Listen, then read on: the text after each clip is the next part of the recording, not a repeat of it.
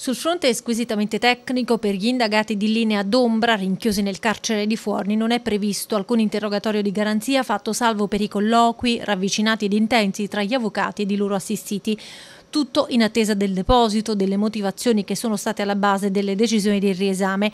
Tra i legali spicca la posizione del difensore, del grande accusatore dell'inchiesta, quell'Americo Panico che continua a ribadire di non aver udito alcun complotto e che Telenuova ha ascoltato ieri. Nessuna intenzione di innescare quell'effetto domino che è stato solo la naturale conseguenza dell'ampliamento degli accertamenti da parte della Procura della Repubblica.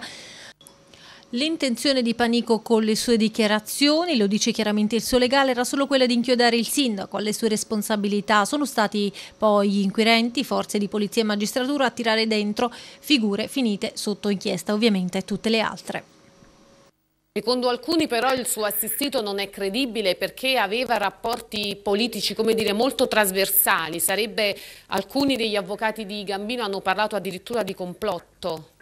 No, questo è assolutamente fuori luogo, credo. Panico non aveva interesse, non ha interesse a complottare con chi che sia, ha semplicemente raccontato la verità e esposto i fatti così come si sono eh, svolti e quindi mh, mm, francamente non riesco a capire perché i difensori, eh, del, i colleghi e i difensori degli imputati, gli indagati, eh, abbiano eh, questa, questa, facciano queste considerazioni.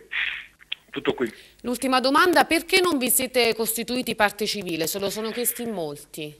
Non ci siamo costituiti parte civile innanzitutto perché il termine eh, per la costituzione parte civile è quello dell'apertura del dibattimento, quindi siamo ancora in termini per costituirci parte civile. Poi fondamentalmente eh, perché il Sindaco Gambino, che è il personaggio che è stato eh, denunciato dal mio assistito, non ha partecipato a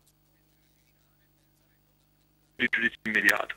Faremo le nostre valutazioni del caso, verificheremo prima della prima udienza dibattimentale se è o meno opportuno costituirsi parte civile.